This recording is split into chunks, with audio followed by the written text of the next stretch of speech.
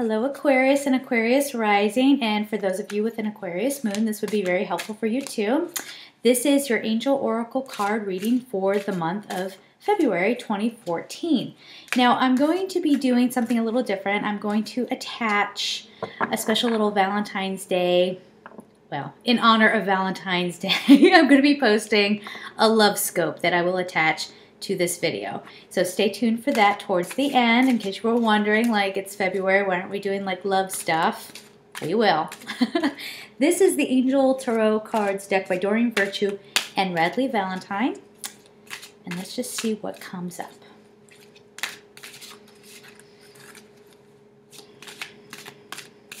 I'm already feeling career stuff for you guys, but let's see if that's just my instincts or if the angels are coming through with that message. First card up we have is Page of Air. Cerebral, okay? And it says logical, honest, impulsive, curious, challenging information, delays or changes to plans, truth delivered without tact.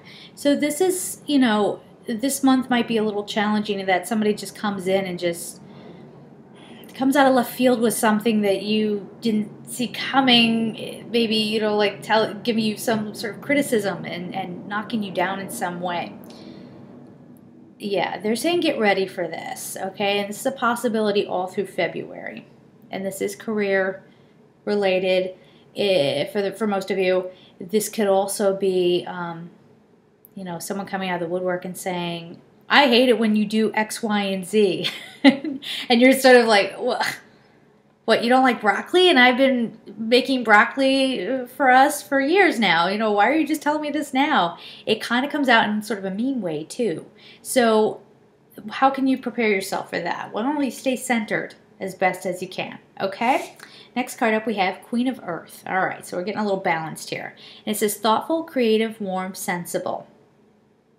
This is going to be your approach to whatever happens with somebody coming out and just being nasty, okay? It says, make time for those around you. Take a sensible approach. Deal with challenges in a kind and understanding manner. Okay.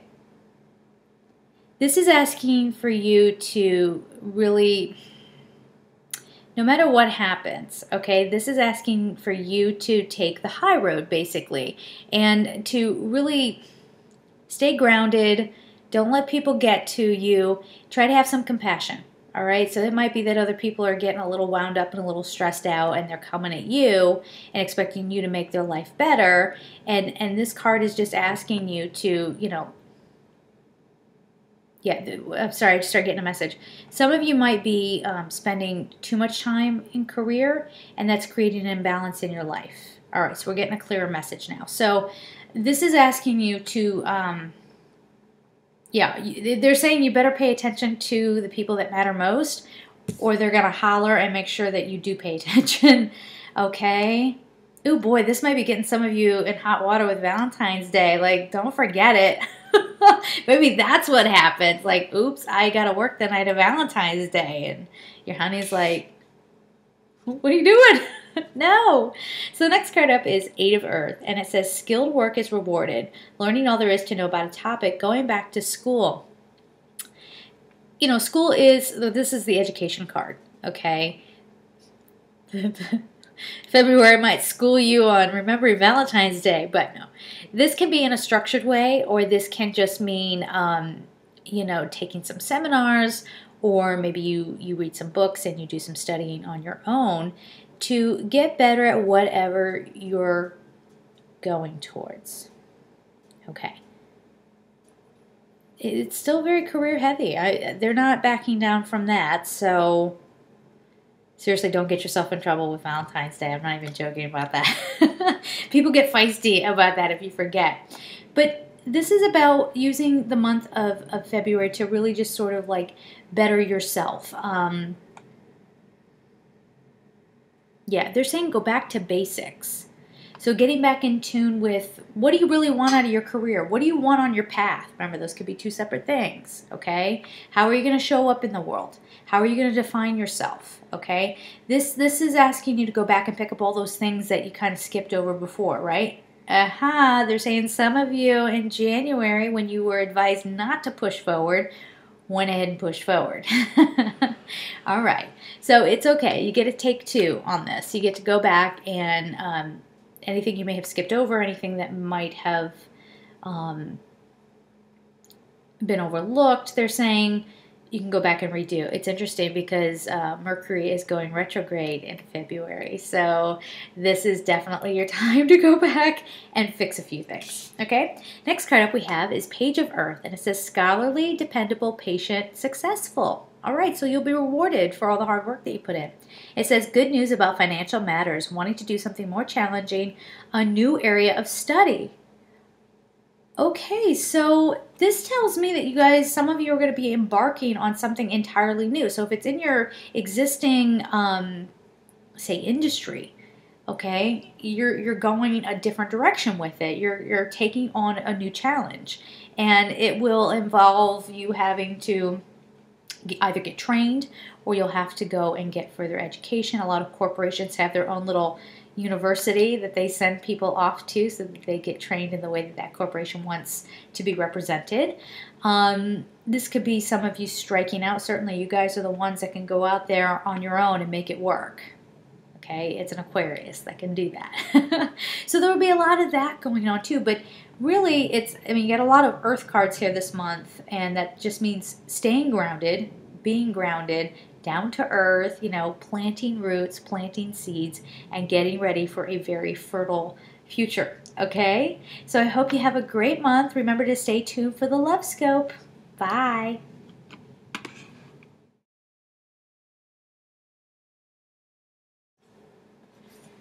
Hello, Aquarius. So here it is for Valentine's Day, or in honor of Valentine's Day, I am doing a special love scope for February 2014. What I'm going to do is I'm going to do an actual reading with the Doreen Virtue um, romance deck. And then I have this adorable little Love Notes deck by Lisa Atkinson.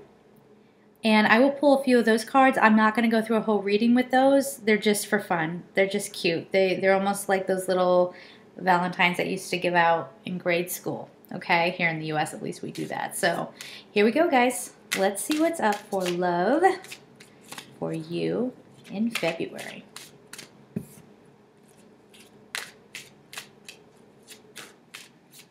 Okay, and for the love cards, I'm only going to pull three cards.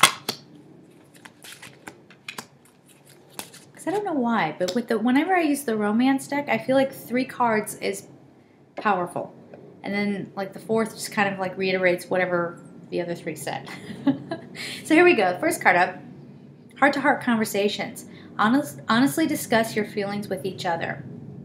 Okay, so if you want love to come in, you got to start expressing your love. You got to start letting people know how you feel. And you can see in this artwork that one of the parties is a little resistant to have that conversation. Fear not fear not. They're hearing you, okay? But you at least have to make the effort to get in there and honestly discuss how you're feeling. Too often we try to hide behind this veil, um, and, and we might be in denial about how we feel about somebody. So, this might be you having a heart to heart with yourself and coming to terms with how you feel about somebody. Okay? Next card up we have is wedding. It says, This situation involves marriage. Okay, guys, let me just tune in. Yeah.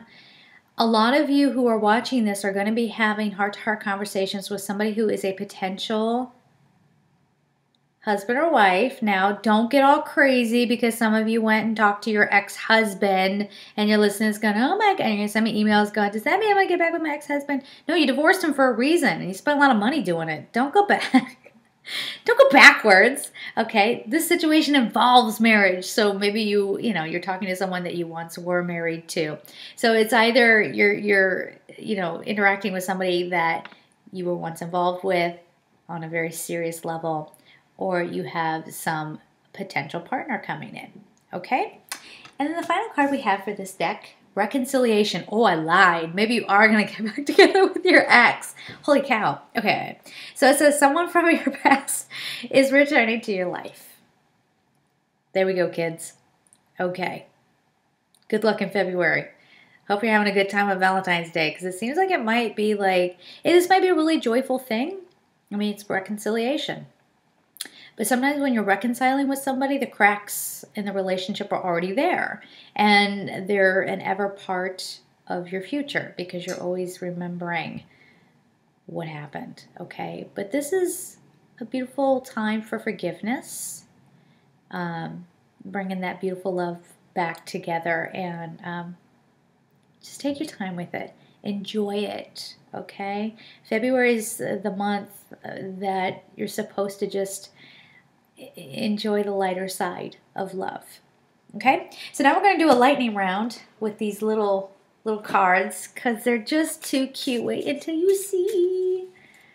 It's so funny. They have these little like vintagey old Valentine's Day images. Too cute. All right, let me just tune in. Okay. We have Love Forgives. Aw.